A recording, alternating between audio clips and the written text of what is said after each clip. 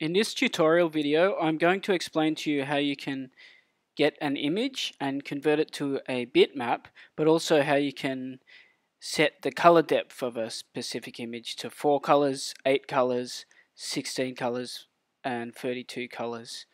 Um, now the textbook also tells you actually to set the color depth to 64. That won't be possible using the app that I'm using. Um, so I should have already provided this link to you on Google Classroom. It'll take you to a BMP converter. Now this BMP converter doesn't just need you to put in BMP files, you can upload any file. So for example, uh, you could just go to Google and look for a picture of a fish and you can simply screenshot that picture. Um, Command Shift 4, Command Shift 4 for screenshots. Um, take the picture, and of course when you press command shift 4 the image should go to your desktop. And so once we've done that we choose the color. Now if you check the textbook it wants you to do 4 it wants the color depth of the image to be 4 for one image. So I'll add the image file I just took. There it is. Open it. Now it's currently not a bitmap file but this converter will turn it into a bitmap anyway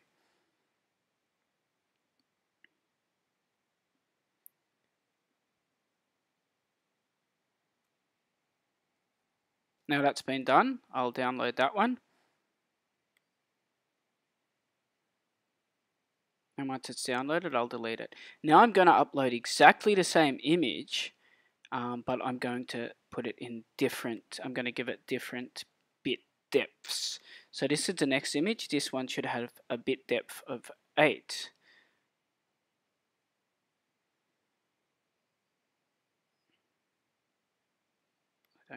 That one. So, but remember, before you upload the image, choose the bit depth. This needs to be chosen before you actually upload it. Okay, and then I'll upload the one for bit depth of 8. Depending on your connection, this should be a reasonably quick process.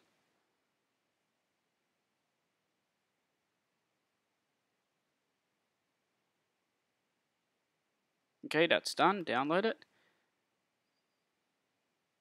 and I'll delete it. And then we want a bit depth of 16. So we shall once again upload the same original image, but this time putting it in with a bit depth of, or a color depth of 16.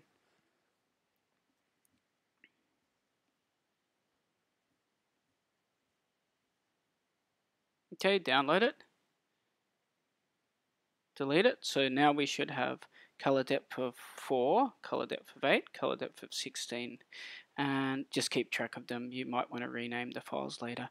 And of course we next need a color depth of 24 and I'll upload the same original image. It's important it's the same image because we're going to compare the quality based on the color depth.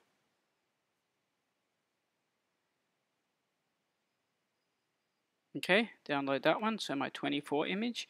Now we can't actually do a color depth of 64 using this particular converter. Um, don't forget to delete it.